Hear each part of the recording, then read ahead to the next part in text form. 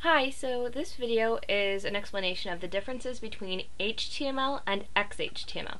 Now, there are only two differences, and I will tell you what they are and why there is like any XHTML as opposed to just having everything HTML. Now, the first difference is uh, these two lines. These go at the head of a document before the HTML tag. So really, really at the very, very beginning.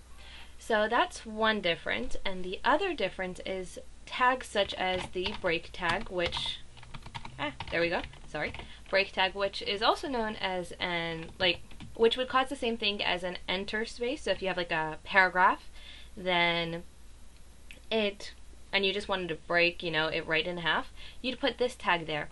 And so the thing is with this tag and what makes it unique and, you know, a couple other tags, is that it doesn't need a closing tag. So there's like no such thing as this. This doesn't make sense. So it's only this.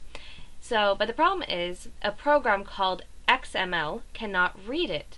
So what you have to do with XHTML is when you come across tags like this, you do a space and then a slash. Because XMLs need to read slashes. They need to have it closing. So it needs to read this. Now, the way this works, and it's actually pretty clever, is that HTML does, if there's any space, they don't read anything after it. XML ignores the space and reads it. So, as far as HTML goes, this slash doesn't exist. As far as XML goes, this exists and it's closing it. So that's really the only difference and as I said the reason for it is so a program called XML could read it and process it.